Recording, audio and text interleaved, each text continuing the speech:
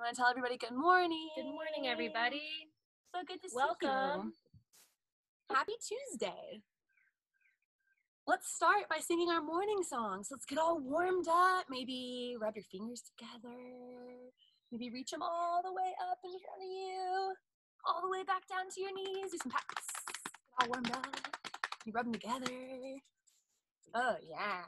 You can get any instruments you'd like to use. You can use your hands as your instruments, your voice, maybe some pat pats. All right, let's get ready for our morning song. Ready? Oh, cool, Wilson. Good morning to the sun. Good morning, everyone. We practice every day to be kind so we have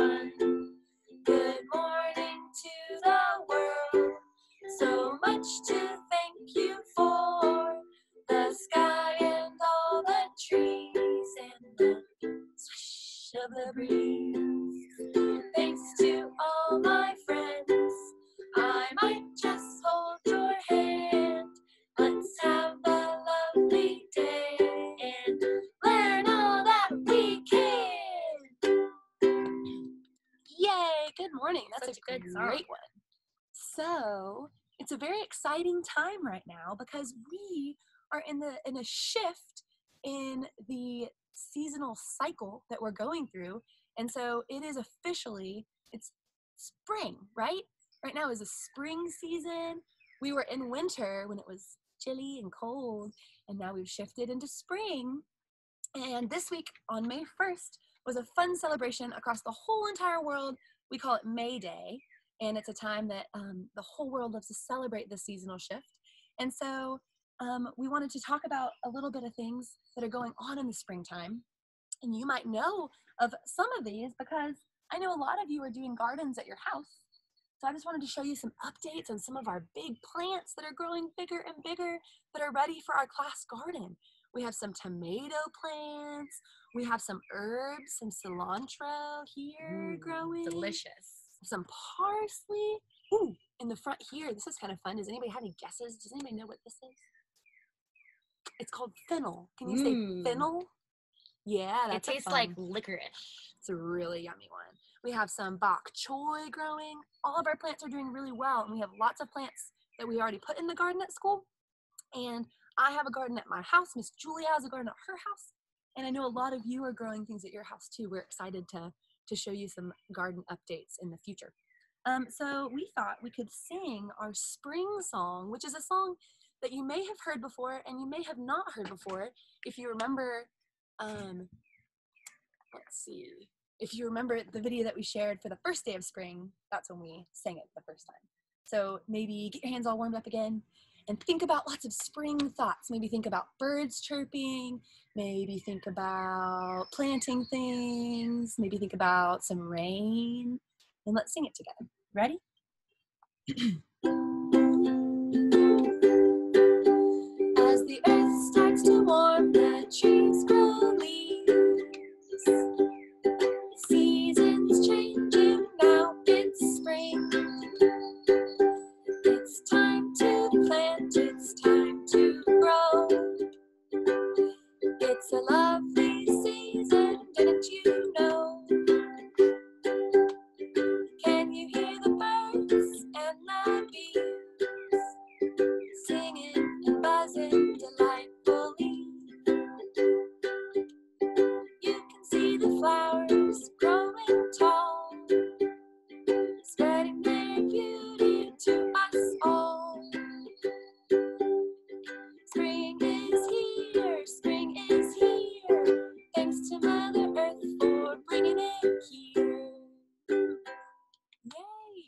we talk about seasonal shifts, it's a cycle, right? So right now we are in spring.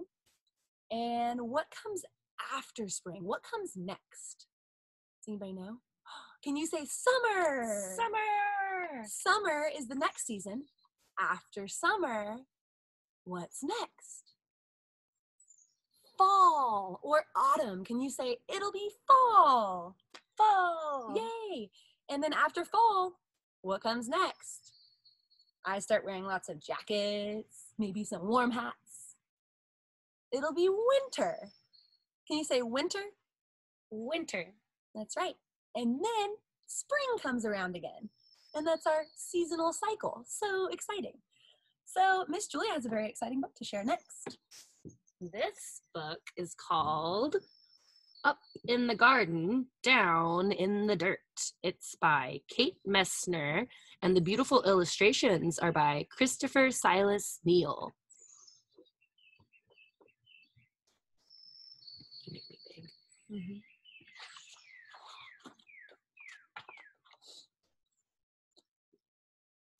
Up in the garden, I stand and plan, my hands full of seeds and my head full of dreams.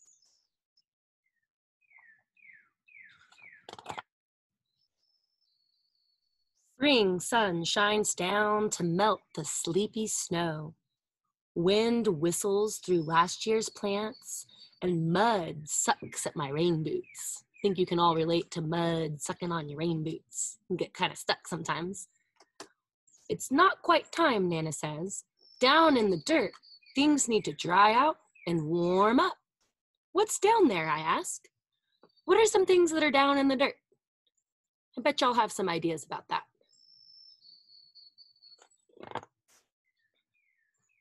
Down in the dirt is a whole busy world of earthworms and insects digging and building and stirring up soil.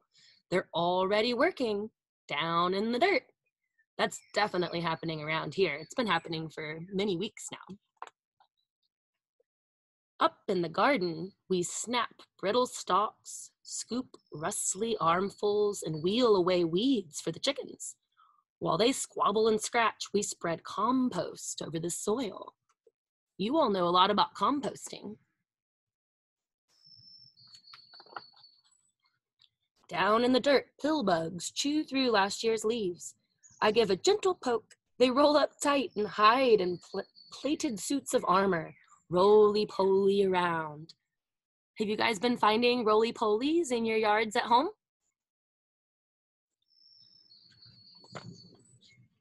Up in the garden, it's time to plant. I trail a furrow with my finger and sprinkle seeds in a careful roll. Give them a drink, Nana says. We pat them down to snuggle in the dark. Down in the dirt, a tomato hornworm, hornworm rests, waiting for wings, and the leaves will she'll lay her eggs. Up, up in the garden, carrot plants sprout. Pea blossoms bloom, wasps are on the prowl, and honeybees visit, legs loaded with pollen. It's the honeybees helping us with our garden work. They're our partners in our gardens. I weed and wilt in the sun so strong, even Nana looks for shade. Down in the dirt, earthworms tunnel deep. I'm jealous of their cool, damp, dark. Have you been finding earthworms as well? Up in the garden, rain shower. Nana turns the hose on me. Hey! It's gonna be time to play in the hose pretty soon. I hide behind the cucumber vines, but their leaves can't save me. I shiver and laugh, drenched in Nana's rain. Down in the dirt, water soaks deep Roots drink it in, and a long legged spider still walks over the stems.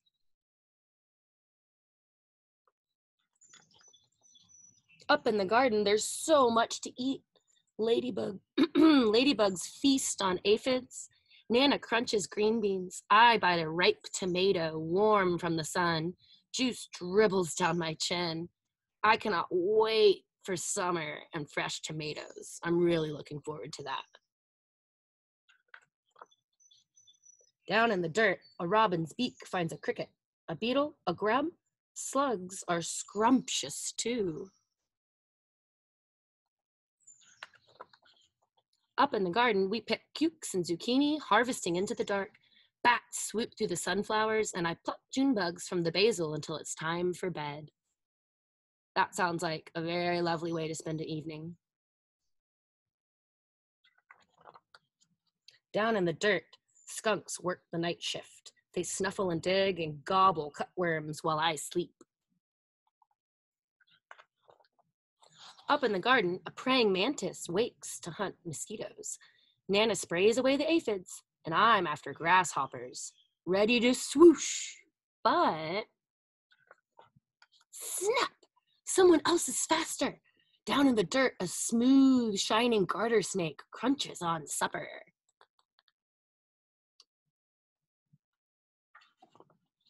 Up in the garden, the wind grows cool. Pumpkins blush orange and sunflowers bow to September. Nana ties them together to build a house for reading. Down in the dirt, an orb weaver spins her web. Strand by silken strand, she'll munch on moths tonight. Up in the garden, colored leaves litter the squash vines, and we know the cold is coming. Hurry, hurry, and harvest! There's enough for the neighbors, too. Down in the dirt, frantic ants gather what we leave behind. They're storing food for cooler days ahead. Up in the garden, frost draws lace on leftover leaves, where secret egg sacs hang, waiting for the warm to return. We say goodbye and spread the winter blankets. Down in the dirt, beetles burrow, ants scurry home, earthworms curl tight in the dark.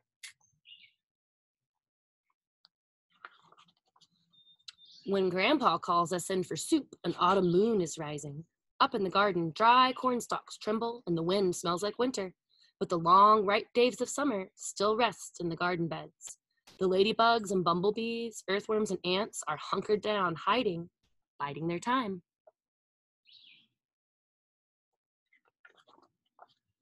Dreaming of sunshine and blossoms and sprouts under the bare arms of trees and the blanketing snow, a whole new garden sleeps down in the dirt.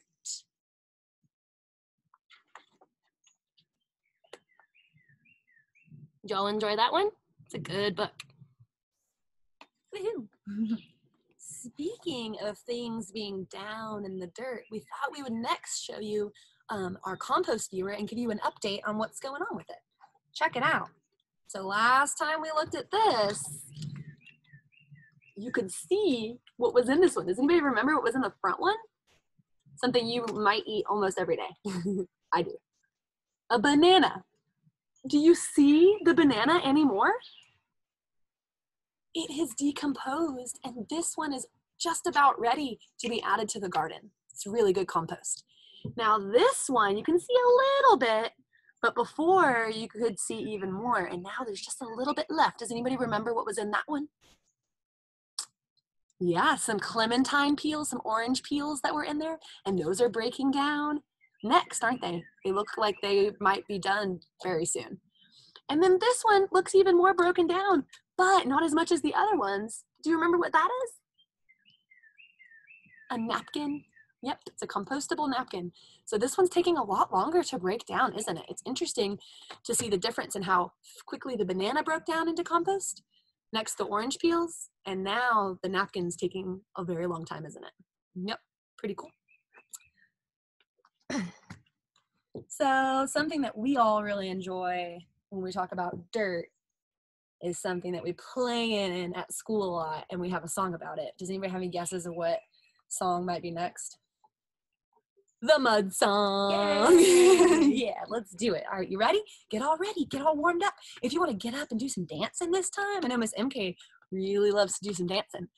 Are you ready for it? All right. Let's get ready. Mud, mud, mud is so fun. You mix dirt with water and you get mud, mud, mud, Mix with water and you get mud. Yeah, you do. We love that one. That's great. So next, my friends, Miss Maddie has a story for you, and I hope you enjoy it. Good morning, everyone. I have another book on the topic of the fact that it's spring. So it's called And Then It's Spring.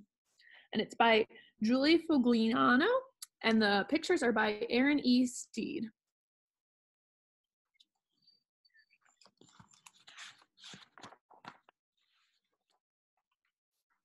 First, you have brown. All around, you have brown.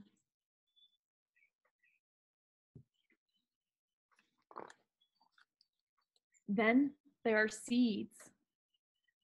It's like our seed song. The little boy's planting a seed. And a wish for rain. And then it rains.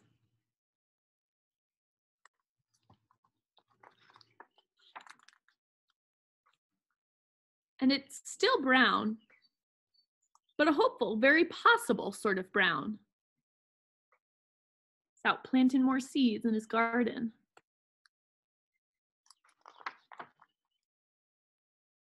And is that a little green?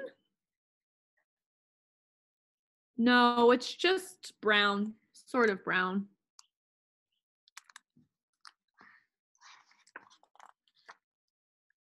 Then it is a week. He's out there still working. In. Is the dog being helpful?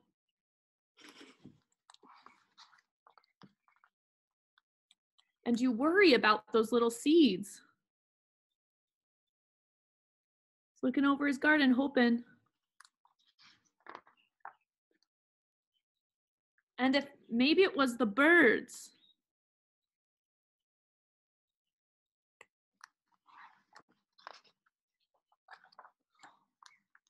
Or maybe it was the bears and all that stomping because bears can't read signs that say things like, please don't stomp here, there are seeds and they are trying. You think, did the birds eat the seeds or did the bear stomp too hard?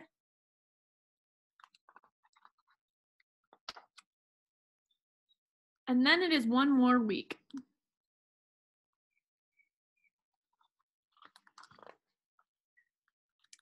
And the brown, still brown, has a greenish hum that you can only hear if you put your ear to the ground and close your eyes.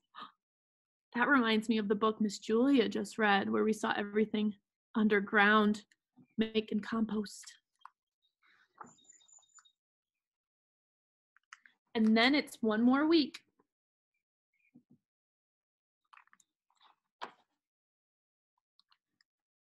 and a sunny day, that sunny day that happens right after that rainy day. What do you think's going to happen? And you walk outside to check all that brown.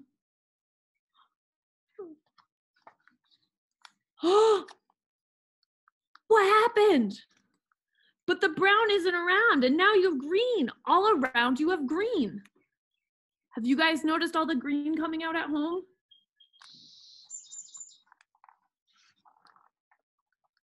The end.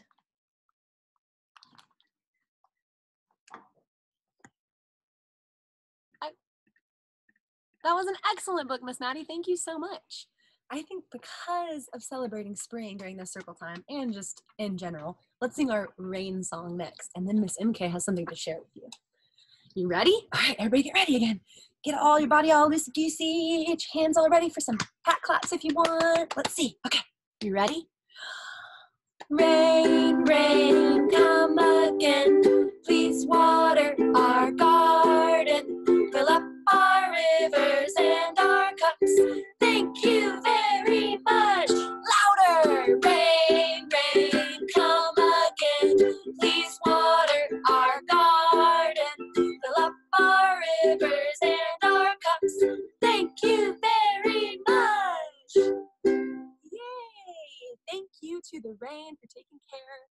of this beautiful world that we live on. All right, my friends. So I think Miss MK has been working very hard on some interesting projects, and she would like to share them with you. And there she is. Hello, boys and girls. I'm so happy to see you. What a lovely morning we had after all that rain last night. Um, our green grass is just going to keep getting greener and greener. I was driving through the mountains today and it was just so luscious and so green, and we're so thankful for the rain to make that happen. Well, I wanted to show y'all some things that I have been working on. A lot of you know that at school, um, I help y'all with your art projects. Um, and so while I've been at home, I've been doing a lot of projects of my own. And I'll give you a little showing. Let's see. So I have, I don't have a very big house or extra rooms, so my little setup is just in my den. But I've been making these bracelets that have these fun sayings on them sunshine, girl power, gypsy soul, explore. And I use these tiny little beads to create all those necklaces and bracelets. Um, and I know that y'all like to make things like that. So I thought that I'd give you some ideas of how you could do that at home. Um, I got this, which is just sold at Walmart, or you can do like regular clay as well um, if you have an oven. Fun because it just dries on its own as you keep them separated. I did some balls here. And I have a skewer. It's very sharp. You could use a toothpick, but it's not as big. So let's see. Let's make this ball into a bead. Do you know what the difference between a ball and a bead is? A bead has a hole in the middle of it because you have to be able to string it on something. And then I made a necklace using some wooden beads, some foam beads, and then the modeling clay. And I did this in what's called a pattern. So I did wood, white, a shape, or a, the foam, and then it kept going on like that. I also did that modeling clay is really fun to play with. You can do all sorts of things. I made a little bowl out of it. So and you can add jingle bells to your work or whatever you would like, whatever you have in your house. We've done, we've used um, pasta noodles at school to make jewelry with. So just have so much fun creating. Can't wait to see you. Thank you, Ms. Some Yay! Super awesome. Thank you. Everybody tell Miss MK thanks for sharing. Nice idea. All right, so I have another book for us. That is this is called I Am a Bunny. Miss Julia and Miss Thea used to read this story when we were just little kids. It's true. We read a lot. I am a bunny. My name is Nicholas. I live in a robin feeding its babies some worm. Yum, yum, yum. In the spring, I like to pick flowers. I think that this illustration looks a lot like the barn property, the hill with all mm-hmm. the daffodils growing.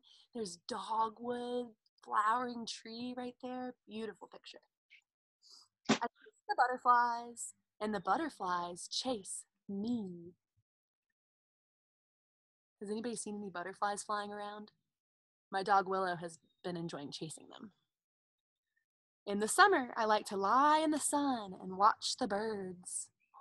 I see something on this page that we have growing in our class garden. Anybody take any guesses?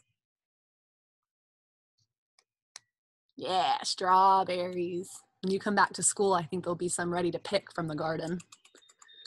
and I like to watch the frogs in the pond. I also think that our tadpoles might be more like froglets or maybe even frogs when you come back to school. Pretty exciting. When it rains, I keep dry under a toadstool. Is that another name for a type of mushroom? Mm-hmm. I blow the dandelion seeds into the air. Everyone blow dandelion seeds. yeah, some good practice.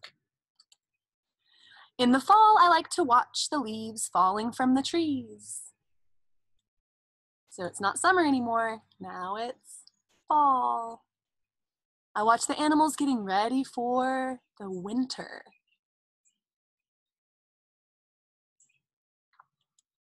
And when winter comes, I watch the snow falling from the sky. Then I curl up in my hollow tree and dream about spring. Because after winter comes spring, right? And now we are in spring, and next is summer. Pretty cool. Thank you for sharing that book with me. I love that one. It's a good one. Richard Scarry is one of my favorite authors. So, our last update for you is about a very special creature that we've been watching. Do you remember what it was? Our caterpillars. So, our caterpillars have done something very special and are actually continuing to do it right now. I'm going to be very gentle. What do you see? Oh my goodness. What have our caterpillars done? That's right. Can everyone say chrysalis? Chrysalis. Our butterfly, I mean, our the caterpillars have formed their bodies into the chrysalides. Check it out. And actually, on this side, you can see there's two more caterpillars that are going to put their bodies into chrysalis so that they can go through their big change. Does everybody remember that word? What's that word? That on the life cycle of certain creatures, they go through a big change. Metamorphosis. Let's all practice. Metamorphosis. Miss Thea, what do you call more than one chrysalis? Chrysalides. Chrysalides. Sort of a fun word. So next, they are going to stay really still in their chrysalides, right? And they're going to go through that big metamorphosis change. It's a lot of energy that they're having to use to go through that change. And when that change is complete and they start emerging from their chrysalis, what will they be? Butterflies! Absolutely. Yeah, we are so excited to watch them go through that process. You can tell them, thanks for letting us observe you. Thank you. Good luck with your metamorphosis. Woohoo! All right, my friends, we're gonna unmute everybody so that you can say hello if you'd like to. You can chit chat for a little while. I think we have about five more minutes, five or six more minutes on. Now they can hear you, Simon. Hi, Lucia. Lucia. Hi. Hi, Lucia. Hi. Lucia. Hi. Hi. Hi.